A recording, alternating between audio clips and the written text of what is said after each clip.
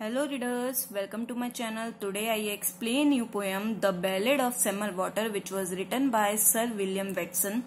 And the ballad of Semmer Water means कि Semmer water की गाथा Semmer Water is a name of lake ये एक झील का नाम है। एंड यस अगर आपने चैनल को अभी तक सब्सक्राइब नहीं किया है please subscribe it and let start the poem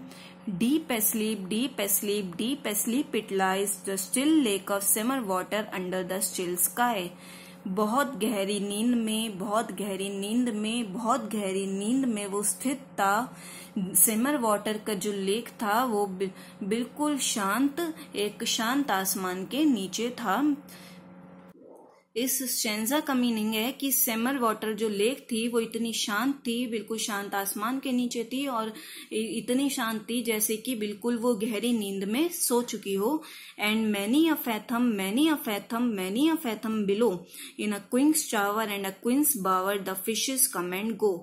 और बहुत गहराई में, बहुत गहराई में, बहुत गहराई में नीचे एक राजा का महल और रानी का बेडरूम था जहाँ पर मछलियाँ आती जाती थी। फैथम मीन्स होता है गहराई एंड बावर मीन्स होता है लेडीज़ बेडरूम में यूजुअली ना कासल मीन्स महलों में जो रानी के बेडरूम्स वगैरह होते हैं, जो रूम्स वगैरह होते हैं, उन्हें कहते हैं बावर। तो फैथम वर्ड थ्री टाइम्स इसलिए रिपीट करा गया है so that you can understand its depth कि वो कितना गहराई में था उस सेमर वाटर के अंदर, उस लेक के अंदर, राजा का महल। Once there stood by Semmer Water a mickle town and tall queen's tower and queen's bower and wakeman on the wall पहले कभी सिमर वाटर के पास एक बहुत बड़ा नगर हुआ करता था, बहुत बड़ा शहर हुआ करता था, जहाँ पर राजा का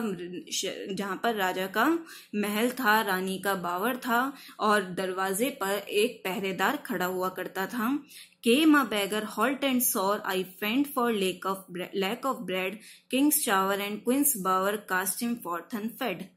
और वहाँ पर जब उनका महल था टाउन में तो वहाँ पर एक भिकारी आता है, उसकी हालत बहुत खराब होती है, बहुत कष्ट में होता है वो, और वो उनसे कहता है कि मैं रोटी की कमी के कारण बेहोश हुए जा रहा हूँ, लेकिन वहाँ के जो राजा के महल वाले होते हैं, उसे बिना कुछ दिए भूखे, उस भूखे को आगे भेज देते हैं। He knocked at the door of the herdman's cot, the herdman's cot in the dale. They gave him of their oat cake, they gave him of their ale. और फिर वो बैगर एक आगे जाकर एक चौरा चरवाहे का छोटी सी झोपड़ी होती है उसका गेट खटखटाता है जो कि उसकी झोपड़ी एक घाटी के पास होती है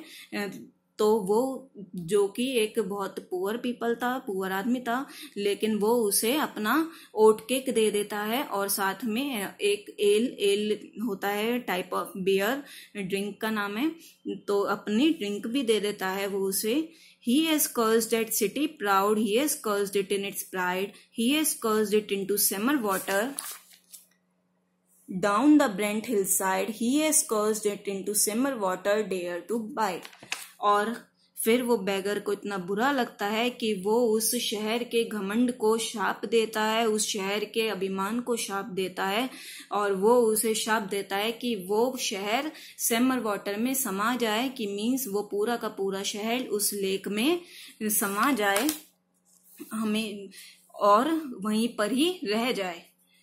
King's Shower and Queen's Bower and a mickle town and tall, by glimmer of scale and gleam of fin, folk have seen them all और जो राजा का महल था, रानी का बावर था, और जो बड़ा सा शहर था, सब सेमर वाटर में समा जाता है, और जो मछलियों की वहाँ चमक थी मीन्स राजा के पास इतना पैसा होता है कि मीन्स उसमें, उनमें अलग ही चमक आ गई थी वो मछलियों में। तो जो उनके चमक से जो है, लोगों ने भी उस नज़ारे को देखा था। King's tower and queen's bower and weed and reed in the gloom and a lost city in Semmer Water deep asleep till doom और राजा का महल रानी का बावर और वहाँ पर आसपास समर वाटर में ही वहाँ पर आसपास अनवांटेड प्लांट्स वीड रीड्स उग, उगने लगते हैं ग्लूम करने लगते हैं और वो खोया हुआ शहर समर वाटर में समा जाता है खो जाता है गहरी नींद में सो जाता है जब तक कि उसका कोई निर्णय नहीं हो जाता। आई होप आपको ये पोएम समझ में आ गई होगी। Okay bye bye thank you